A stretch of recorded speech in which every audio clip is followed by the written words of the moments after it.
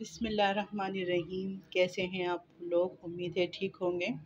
आज हम आपको बता रहे हैं कि अचार कुछ कैसे बनता है। उसके लिए हमने चिकन ली है और कुछ टमाटर लिए हैं जिन्हें हमने बारीक काट लिया है। अदरक, लहसुन और अचार का मसाला है और काली मिर्च है पिसी हुई। थोड़ी सी ये हम डालेंगे और ज़ीरा भुना हुआ है। ये हम इसमें डालेंगे अदरक हरी मिर्चें और थोड़ा सा गार्निश के लिए हरा धनिया डालेंगे।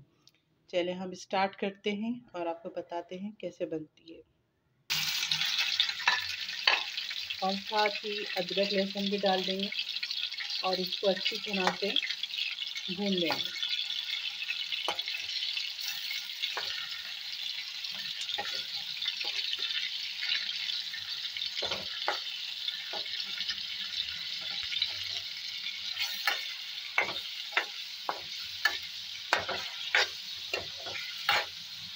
ये भून जाएगा, इसकी स्मेल ख़त्म हो जाएगी। चिकन की थोड़ा सा चिकन को भून लेना चाहिए।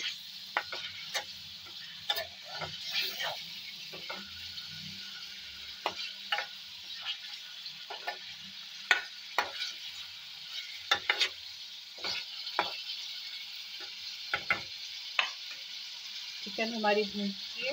अब हम इसमें अचार का मसाला डाल देंगे।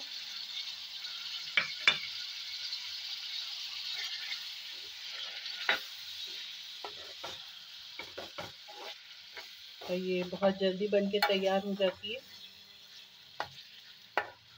इसको सभी शौक से खाते हैं।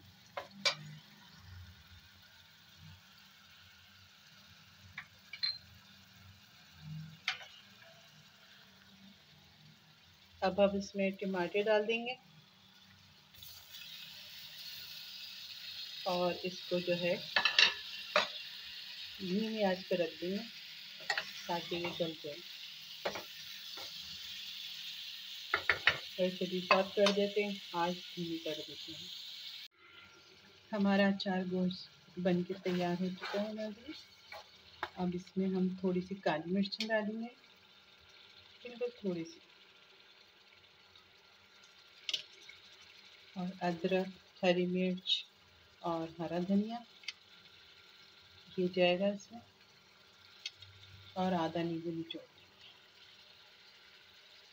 ये थी हमारी बनके अचार गोश की डिश तैयार है। और अचार गोश का मसाला हमने घर के मसाला बना के डाला था, जिसकी रेसिपी हम आपको दे देंगे। अल्लाह हाफिज़।